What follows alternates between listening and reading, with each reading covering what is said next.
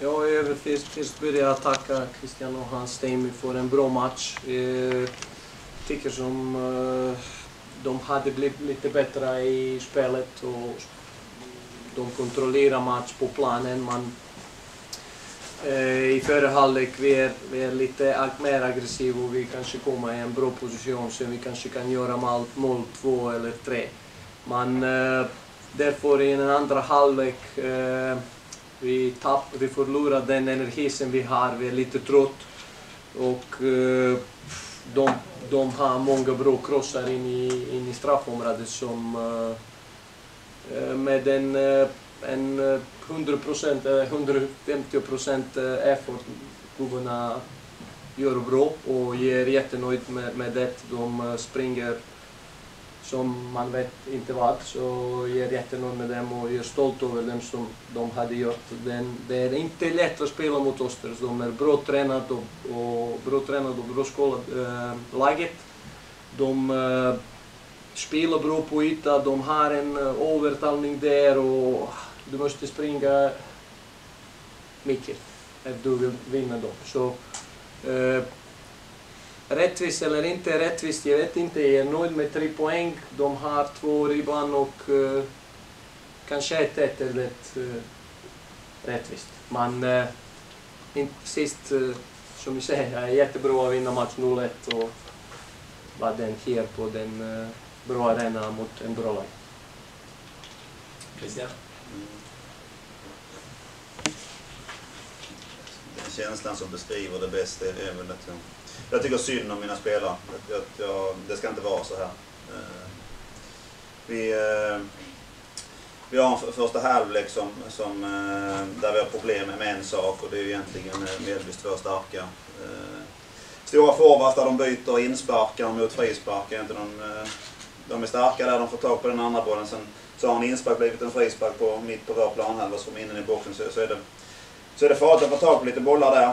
Annars tycker jag att vi, vi försöker eh, matchen i, igenom i första halvlek också att komma runt. Vi är betydligt rakare idag. Vi har väl, jag vet inte hur många inlägg vi har. Vi har inte, har inte en som taggade till oss för att kolla på det sen. Men det, det känns som att vi har otroligt mycket bollar in i, in i boxen idag. Vi, vi bestämde oss för det. Det tycker jag vi, vi utför. Killarna gör, gör ett helt annat annat eh, försök i den delen av spelet idag än vi har gjort innan. Och det, det är nästan lite på hockeymanér ibland som jag sa att vi, vi slänger in den för att hoppas att det tar på någon, lite så som målen görs i, i, i den här divisionen. Eh, men man får ju inte träff på det heller. Eh, sen bedömer vi i, halvlek då att, eller sen gör Mjällby ett, ett mål, jag glömde gratulera till vinsten nu då, ska jag börja med. Eh, på, på, på det anfallet de har i stort sett. Och det, det, det kommer av en andra bollsförlust och det kommer av Ja, jag, jag måste se det igen. Men, men det, jag vet inte om man skjuter tunnel på monstren. Det brukar vara så när sådana bollar går in att Tobbe inte ser det riktigt. Men jag får kolla igen. Men vi ligger under med 1-0 i pausen. Det enda problemet vi har i matchen är, är deras forward. så det långa spelet och andra bollen. Då väljer att sätta in Blomman. Den var också lite trött efter magsjukan och tyckte att Filip skulle passa utmärkt. Eh, för att få stopp på det och för att eh, svänga övertaget helt och hållet. Också. Och i andra halvlek, det, det är ju det är ju 45, 48, 49 minuter Öster som försöker, som har bollen och, och försöker spela och försöker göra mål och, och skapa fram två, två i stolpen och eh, inspel och avslut och inlägg och nickar och distansskott och jag vet inte vad vi... Hörnor och... Så att jag, jag kan inte mer än att säga att killarna försöker allt vad de har. De ändrar fokus på ett beundransvärt sätt utifrån att vi vi accepterar eh, att vi behöver göra så här nu för att få till situationer. Det ska ju såklart ge utdelning eh, i det här. Jag tycker många gör starka prestationer. Jag tycker att Filip kommer in och, och gör det jättebra. Det, det är otroligt tufft eh, för oss alla. Eh, och, och eh, det, jag har inte varit med om att, att det kan bli så många bollar som, som är som hela tiden är nära och, och nästan, men det är lite bakom och det är lite framför och det är aldrig någon, någon träff och det, det är två i stolpen. Så vi kan, de, de kan inte göra så mycket mer utan de, de gör allt de, eh, de kan. Eh, så att det, det, är- det är min känsla nu. Där någonstans eh, gör vi ett otroligt, otroligt försök och det är grymt att det kan Att det inte eh, någon kan pillas över linjen. Bra. Frågor? Du ställde dig direkt utanför domarrummet och gick in där.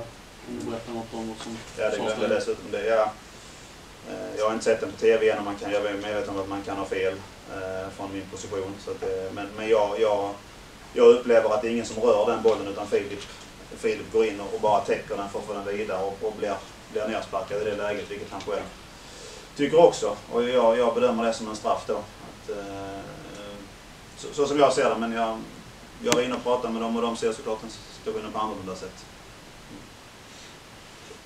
De bedömer att eh, Filip också, att, de, att han blir träffad men att han själv eh, sparkar efter bollen och på så sätt så är det bara ett vanligt hopslag och ska inte vara någonting. Jag, jag, innan jag liksom eh, bekräftar min uppfattning så vill jag se det men, men så därifrån jag, jag tycker så känns det så känns det som en, skulle kunna vara en straff. Eh, du nämnde andra halvleken där liksom allt händer. När ni är aggressiva, alltså man ser på kroppsspråket hur, hur mycket ni, liksom, ni ska bara ha in bollen. Och alltså, har du, alltså, har, jag har inte sett det så himla mycket förut den här säsongen. Har, har du någon... Har du inte? Den, Nej, men, men frustrationen som, som vi har med, med oss länge slår ju någonstans över in i, en, i att vara helt... Eh, jag vet inte vilket ord jag ska använda men vi... vi nej, men som, som du säger, vi, alla som, som är här kan ju inte använda något, eh, något annat ord än att vi, vi, vi gör allt vi, vi kan. Det är liksom du säger, vi, vi försöker ta tillbaka bollen så snabbt vi, vi kan och vi, vi, vi jobbar stenhårt, vi pressar dem. Vi, vi spelar ju nästan bara på denna, denna planhalvan hela andra halvlek i stort sett.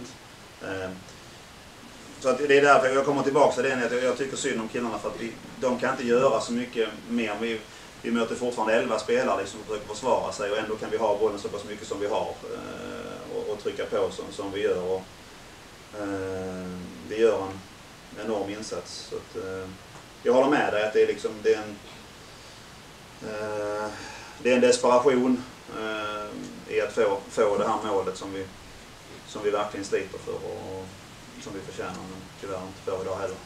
hur funkar sånt? Kan man liksom tappa det på flaska och ta med sig det till nästa match? Eller hur? Den typen av kollektiv inställning eller vad jag ska uttrycka det? Ja. Jag har ju jag, visserligen aldrig tyckt att arbetsinsatsen har varit något fel på i tidigare matcher heller. Och vi, vi har de här kryssen hemma mot... mot eh, det är ju oerhört täta matcher hela tiden och alla, alla våra kryss blir ju också i, i, i en bemärkelse av en, en, en förlustkänsla. Ibland kan man ju få...